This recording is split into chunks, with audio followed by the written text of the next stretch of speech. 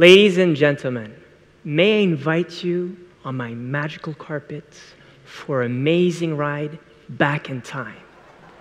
We, as society, have evolved in many ways. What we always try to find is purpose. 2,500 years ago, one of the greatest kingdom was created.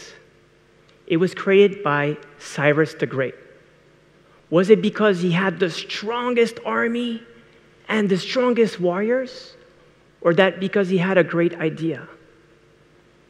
Back then, he wrote the, one of the first white paper that would change civilization forever. The first human rights.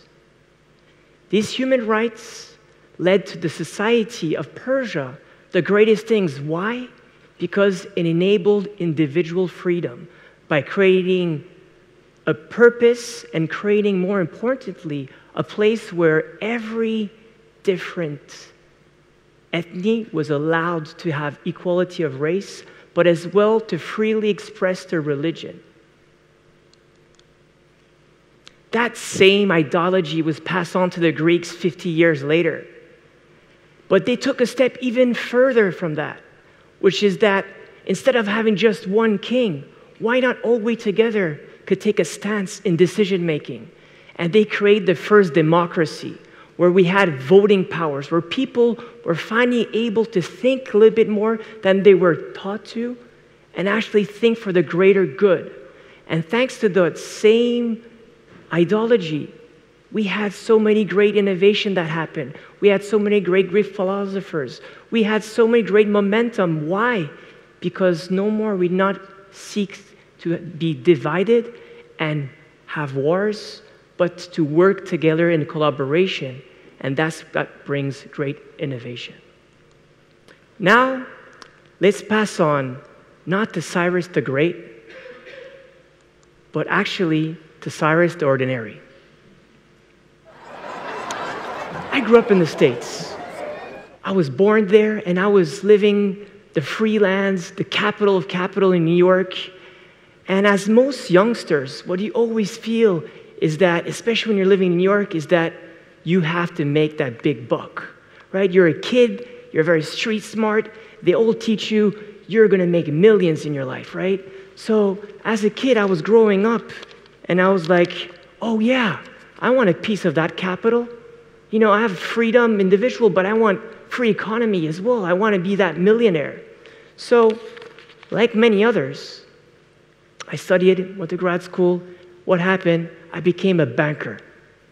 And I was very proud of that. I became a private banker, then I worked in hedge fund management, and I was like, yes, I'm on that magical carpet, but the golden one this time, and I'm gonna make those zillion dollars. Until one day, after a long time, over a decade, I was working in this industry, I tried to just talk about Am I free? Yes.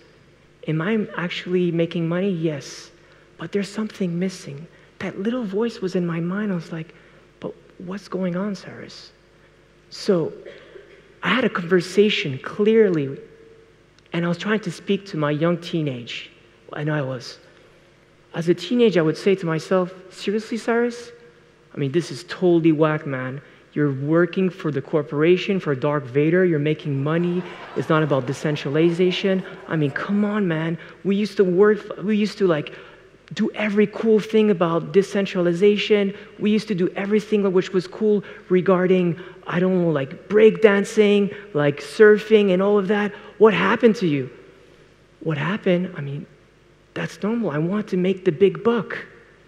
And I talked to myself carefully, and again, people, I was back into that teenage mode, like, Cyrus, what you're missing right now, it's your purpose. I mean, look, back then, we used to break dance. How can you go from break dance to banker? You guys don't believe me that I used to break dance? Or do you do? You want, want to bust a move? Okay, I'll bust a move for the say, huh? Let's go, guys. Stop your hands.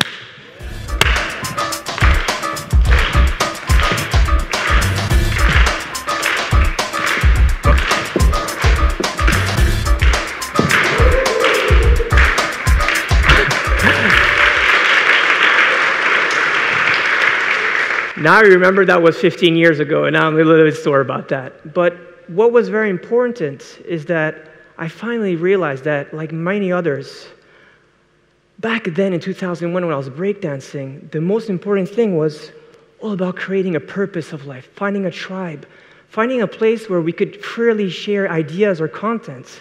And back then, as a youngster, when I used to breakdance, the best thing that we used to crave for was breakbeat musics and mixtapes.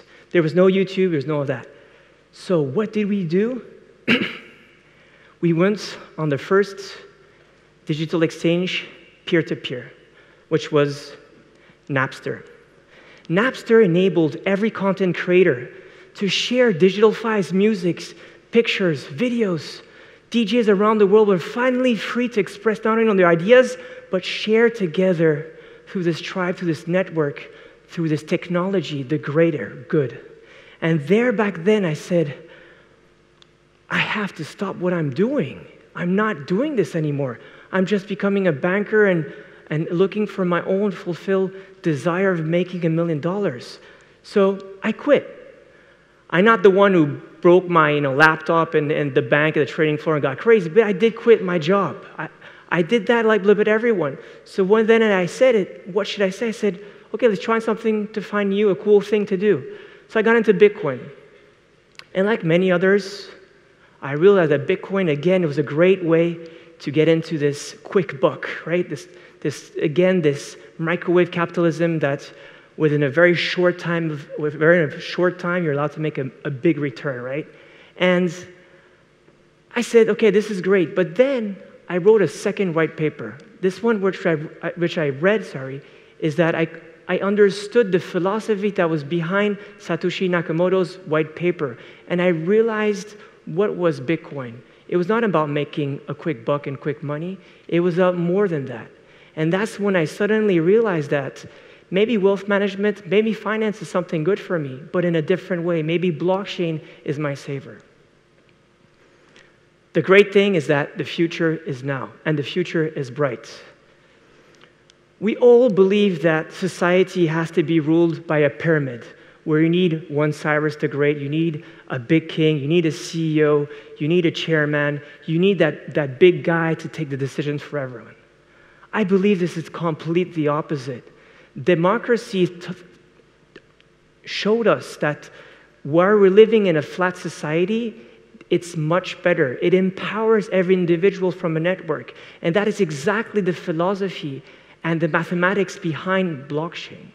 It enables each person to do peer to peer transactions on a decentralized network that is owned by no one, no entity, and that which just really creates the power of it. Why is it real freedom? The fact, why is it really free? First, because it's accessible to everyone, the entire world. We're not talking about just a few privileges, we're talking the entire world, even Iran, North Korea, and all of these different countries that today are not able to, we are not able to trade with. Another thing which is very important is that a great thing is that you don't need much infrastructure. All the mainly infrastructure of technology that we have today is, is a big abundant we need for in order to connect.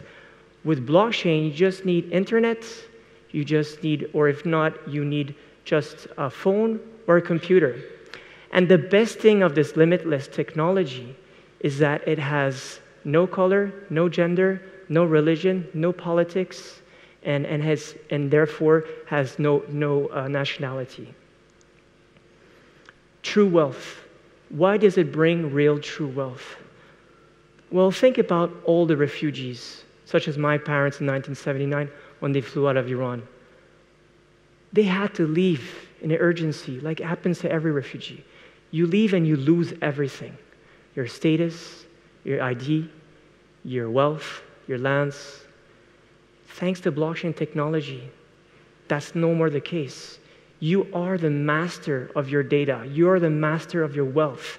You do not lose this. You have the keys, the private keys that enables you to have that private vault in order to keep your own sacred data. That's what changed much stronger. The second thing, which is great about blockchain, it enables people to have 100% track record. We could, lo- we could look at every transaction. We can know exactly what wealth you have. We can know exactly what behavior happened. And that enables you to be transparent, not to prove yourself. The last thing, which is the most important thing. We heard today the word purpose. Purpose is what defines someone. Maybe a lot of people in the room say, I have this competence. I'm a coder. I'm a content writer. I, I'm, a, I'm an engineer. I'm a data analyst. That's your skill sets, but that's not your purpose. And what is extremely important about these decentralized autonomous organizations that we find the blockchain ecosystem is that while you contribute to the network, you get rewarded, but for greater good because the network gets rewarded and therefore grows and actually rewards you back. It's a virtuous cycle that enables people to create win win situations. And the greater thing is that there's no misalignments. As is it's transparent, as there's no, let's say, shareholders with users, everyone's at the same level. It's a, it's, it's a flat organization that works towards one goal. And all together, if you contribute, you get rewarded in a very fair and transparent way. That's why I think this is the big game changer of tomorrow. And tomorrow is today. As we witness throughout societies and ideologies, we already have individual freedom in many countries. We have as well the possibility to get wealth. The difference with blockchain is that it gives you purpose, individual freedom, and, individual wealth as well, which is something much greater than the other industries are offering today. I told you that Cyrus, the ordinary, wanted this million dollars. And I wanted, wanted this to be on my, my bank account.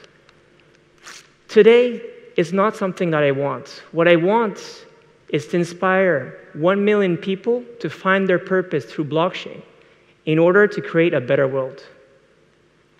My name is Cyrus Fazel. Thank you very much.